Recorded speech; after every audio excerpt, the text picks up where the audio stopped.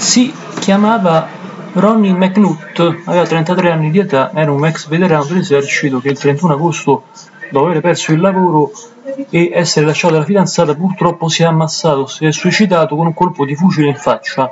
McNutt aveva deciso di trasmettere la propria morte in diretta su Facebook, il video non aveva avuto modo di diffondersi, ma purtroppo è arrivata la diffusione, infatti su TikTok il video è diventato virale. In poche ore le condivisioni sono aumentate sempre di più, sono moltiplicate, grazie anche all'algoritmo del social cinese il video viene proposto a milioni di persone in tutto il mondo, si va a propagare in maniera potenziale anche tra minorenni che sono i più frequentatori di questo social cinese.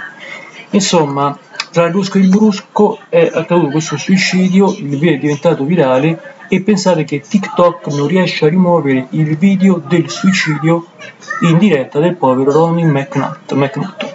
Vi ringrazio per l'ascolto, una vicenda questa che ci fa capire come le rigide regole dei, dei social, e anche in questo caso di questo, siano davvero difficili a volte da eradicare.